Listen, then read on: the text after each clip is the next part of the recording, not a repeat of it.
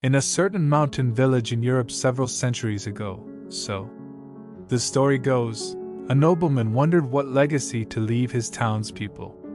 At last he decided to build them a church. Nobody saw the complete plans until the church was finished. When the people gathered, they marveled at its marvelous beauty. But one person noticed an incompleteness. Where are the lamps? he asked. How will the church be lighted? The nobleman smiled. Then he gave each family a lamp. Each time you're here, the area in which you sit will be lighted. But when you're not here, some part of God's house will be dark. Some clever nobleman that was. Don't you think? Today we live in a world of darkness, a darkness in which even our secular problem solvers are beginning to stumble.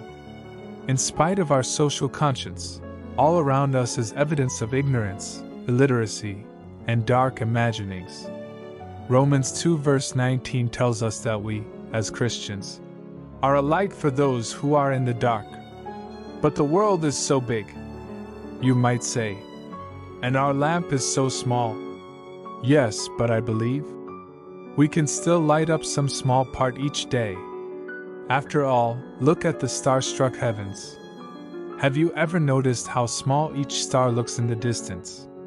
Yet, put together, those tiny jewels can light the darkest night. Not one of those little lights of heaven is ever miss ing, or else the heavens would be less bright. I believe each of us is like a star, or a lamp, if you will. And yes, I am convinced that we can make this world a better place. It all begins with the desire expressed in Michelangelo's prayer. God, grant me the desire always to desire to be more than I can ever accomplish. This day I encourage you to let God light your lamps with His fire, the Holy Spirit, and to allow Him to send you in a new direction today. Perhaps you might meet someone who needs you today. Put on a bright face whether you feel it or not.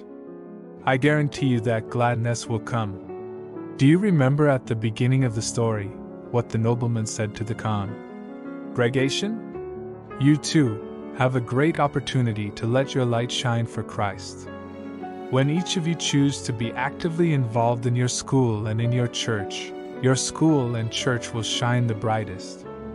May each of you shine your brightest during this school year.